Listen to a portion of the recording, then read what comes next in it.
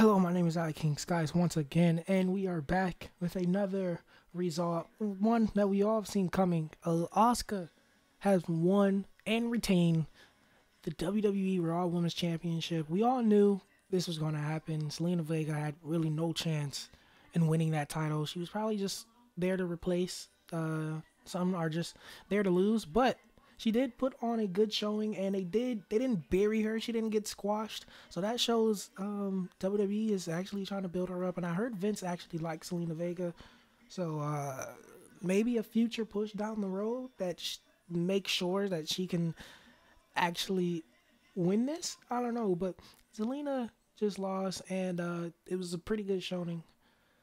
But uh, yeah, so Asuka has retained the WWE Raw Women's Championship. It was a, a, a, awkward in promo, but anyway, so far it has been a good show.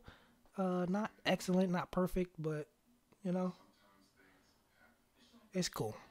And uh, hold up, wait a minute. This is live commentary, guys. Asuka just tried to go for a handshake.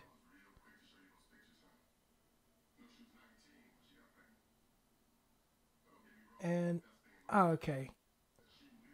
And Zelina Vega just attacked Asuka after the match. It looked like she was gonna go for the handshake, and then she kneed down instead and attack her. So that would probably be another match for Hell in a Cell. I think that's the next pay per view. So Asuka versus Zelina for the next Hell in a Cell match pay per view. But that was a live action, live action commentary right there. You know what I'm saying? Something light. Anyway, my name is I King Skies and thanks for watching.